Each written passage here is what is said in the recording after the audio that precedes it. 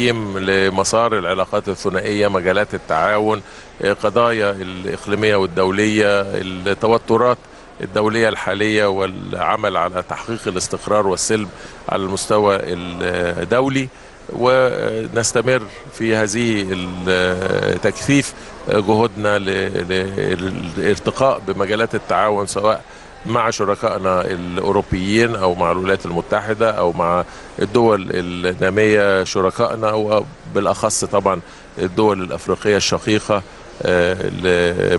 بتحظى علاقتنا بها باهتمام وتميز. سياده الوزير ربما البعض تحدث عن ال 100 مليار اللي حضرتك اتكلمت عليها من شوية من قمة باريس أو كوبنهاجن إلى الآن. الدول لم تلتزم بهذا الأمر. النهارده الكلام على تريليون دولار. الدول هتدفع إزاي؟ ومين اللي هيتابع هذا الأمر؟ كيفية الإنفاق والتمويل للدول المتضررة. دي من القضايا طبعا. قضيه التمويل هي قضيه مركزية بالنسبة للتعامل مع تغير المناخ وهناك تقدير بأنه المبدأ الأساسي هو المسؤولية المشتركة متباينة القدرات اللي لابد من مراعاتها وبالتالي لابد من توفير الآليات للدول النامية لتطلع بمسؤوليتها في مواجهة التحديات المرتبطة بقضية المناخ سواء من حيث التخفيف أو التكيف التمويل وكيفية توفيره آه. قضية رئيسية والكل يعلم إنه ال 100 مليار كتعهد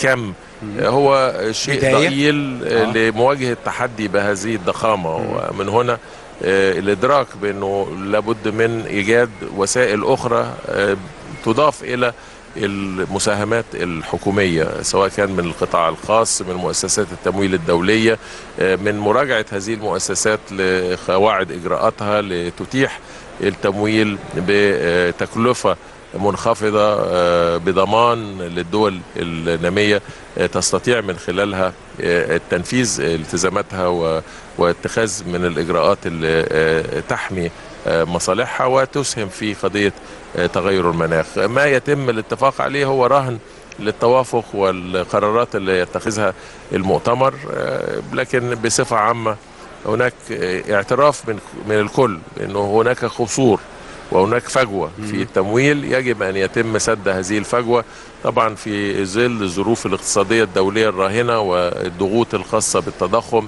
هذه المهمة يزداد صعوبتها ولكن استمرار وضعها واستمرار الاعتراف بها والعمل على سد الفجوة وزيادة القدرة على التمويل هو أمر لابد من التعامل معه بشكل واقعي وبشكل يعني يؤدي لتقدم خلال مراحل مختلفة للتعامل مع قضايا المناخ. ماذا عن دعوة السيد الرئيس عبد الفتاح لوقف الحرب الروسية الأوكرانية؟ وهناك تعاون وتجاوب من دول كثيرة حول هذه الدعوة. ردود الأفعال اللي وصلت متابعة حضرتك كوزير الخارجية.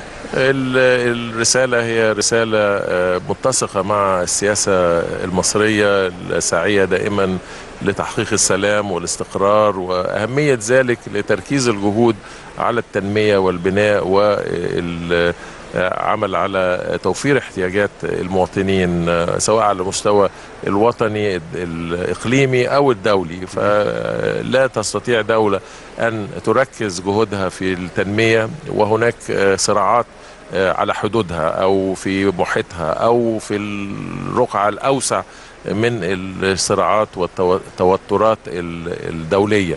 ومن هنا دعوة الرئيس هي تصب في مصلحة عامة للنطاق الدولي ومصلحة خاصة في جهود المصرية والضغوط التي تتعرض لها مصر نظرا للأوضاع اللي تولدت عن التوترات الجيوسياسية وتأثيرها على المناخ الاقتصادي العالمي.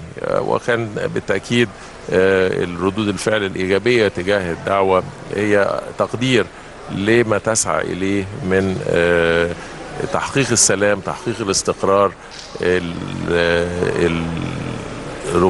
التوجه دائما نحو ما هو إيجابي ومحاولة احتواء الآثار المدمرة والآثار القاسية على المواطنين من انتشار الحروب والتوترات.